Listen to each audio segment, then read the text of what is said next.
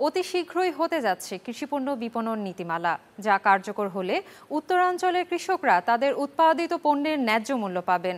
গতকাল নীলফামারীতে jackpot ক্যাশিউনাটস industries লিমিটেডের কারখানা পরিদর্শন শেষে এমনটা দাবি করেন কৃষি বিপণন অধিদপ্তরের মহাপরিচালক মোহাম্মদ ইউসুফ। তিনি বলেন, বিপণন নীতিমালার ফলে সরকার নির্ধারিত নির্দিষ্ট মূল্যের নিচে কৃষি পণ্যের বাজার দর নামবে না।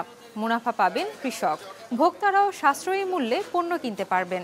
তিনি আরও বলেন, নীলফামারীতে প্রক্রিয়াজাত হওয়া কাজু বাদাম যুক্তরাষ্ট্রসহ নানা দেশে রপ্তানি হচ্ছে।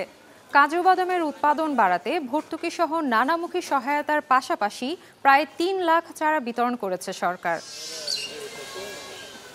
আমরা এখানে একটা কৃষকদের যে উৎপাদিত পণ্য, তার যে একটা প্রোডাকশন কস্ট তার প্রোডাকশন কস্টের উপরে তাকে আমরা আরও মুনাফা দিয়ে আমরা একটা নির্দিষ্ট মূল্যে আমরা তাদের কৃষি পণ্যটা ক্রয় করতে পারব এবং সেটা নির্দিষ্ট করে দিব যাতে এর নিচে যাতে আর কোনো কৃষক দাম না পায়, আবার ভোক্তাও যাতে বেশি দামে আপনার কিনতে না হয়, সব দিকে বিবেচনা করে আমরা বিপণন